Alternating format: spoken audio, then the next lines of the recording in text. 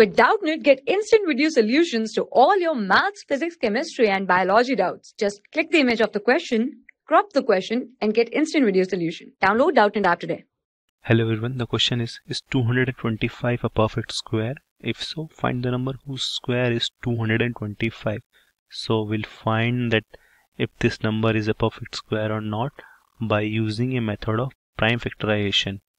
And for that will find its factors therefore 225 the least factor of 225 is 3 and the remaining is 75 and for 75 the least factor is 3 hence the remaining is 25 and for 25 the factor is 5 the remaining is 5 and for 5 it's obvious 5 and the remaining is 1 now we can write our factors as 225 is equals to 3 into 3 into 5 into 5.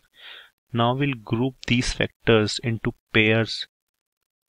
Therefore, this will become 225 is equals to 3 into 3 and into 5 into 5. Now we can see that we are successfully make these equal pairs and the no remaining factors is remaining.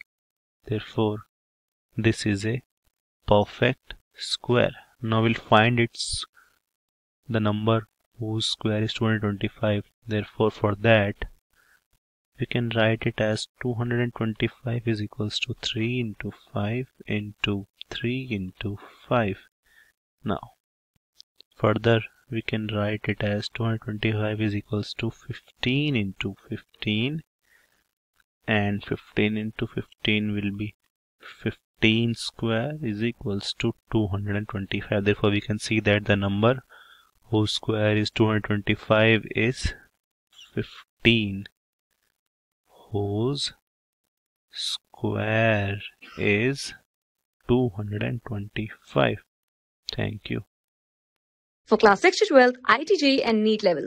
Trusted by more than 5 crore students. Download Doubtnut app today.